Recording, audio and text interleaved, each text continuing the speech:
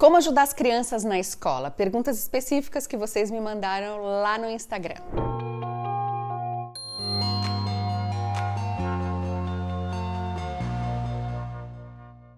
E a pergunta de hoje foi mandada pela Renata, que diz assim: ó, meu filho perde o interesse muito fácil nas atividades propostas em sala de aula. Acontece que nas atividades da terapia são muito mais avançadas que as da turma dele. Como fazer para que ele não perca o interesse? Então, o problema da Renata é que essa criança está recebendo estímulos e que tem habilidades que estão acima da média das outras crianças da sala dele. Mas mas também acontece muito das crianças perderem o interesse porque não acompanham e porque aquelas atividades não fazem o menor sentido para aquela criança. De qualquer maneira, em qualquer um desses dois casos, nós precisamos de adaptação do material.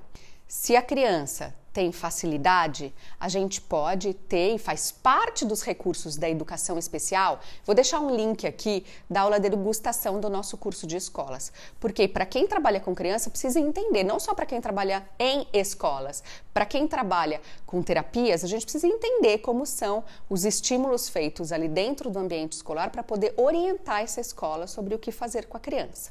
É muito importante que a gente esteja capacitado nesse assunto. De maneira geral, a gente precisa que essas escolas gerem estímulos que ajudam no desenvolvimento da criança, se esteja ela além do esperado ou aquém do esperado em comparação à turma aos pares da mesma idade. A adaptação do material é fundamental um currículo adaptado. Então, uma criança que está com facilidade perde o interesse porque aquilo é bobinho para ela, é fácil para ela. E uma criança que não acompanha, aquilo não faz o menor sentido porque ela não está entendendo. Mas, além das atividades pedagógicas, uma outra questão muito importante de desempenho dentro da escola são as habilidades sociais. Ainda mais hoje em dia, que aprender coisas está tão fácil, as crianças podem sozinhas procurar no YouTube. Só que tem uma coisa que só acontece na escola e que é insubstituível por qualquer eletrônico, que são os grupos, os pares da mesma idade reunidos, e isso acontece todos os dias durante muitas horas e só tem a possibilidade no ambiente escolar.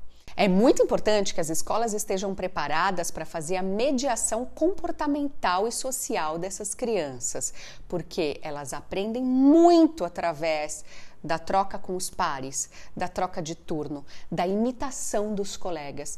Muito é uma das grandes fontes de aprendizagem das crianças. Então é importante que a criança tenha um PEI, que é um programa de ensino individualizado, e isso pode ser construído junto com a equipe multidisciplinar, com as terapeutas que atendem essa criança e com as famílias que vão dizer o que, é importante para elas, como são os talentos, o que, que chama a atenção dos seus filhos. Observem, professores, o que, que, eles, que essas crianças gostam, o que faz elas olharem, o que faz elas quererem saber mais e o que faz elas se afastarem, o que faz elas perderem o interesse. E ao invés de querer forçar essa criança a fazer o contrário, desenvolva atividades que favoreçam esses talentos e essas habilidades que elas já têm.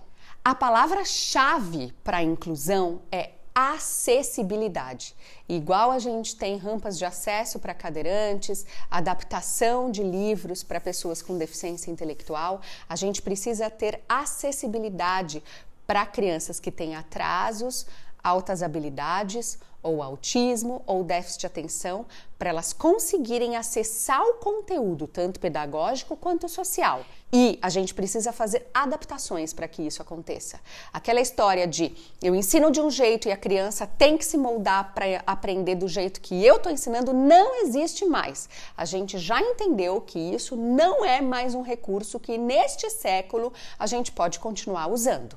A gente precisa se adaptar a como a criança aprende, porque todas as crianças são capazes de aprender. O que cabe é nós gerarmos estímulos que favoreçam essa aprendizagem e que gere acessibilidade para elas alcançarem o que a gente quer explicar. Espero que esse vídeo ajude. Se você gostou, dá um joinha e se inscreve no canal. Um beijo grande e até o próximo vídeo. Tchau, tchau.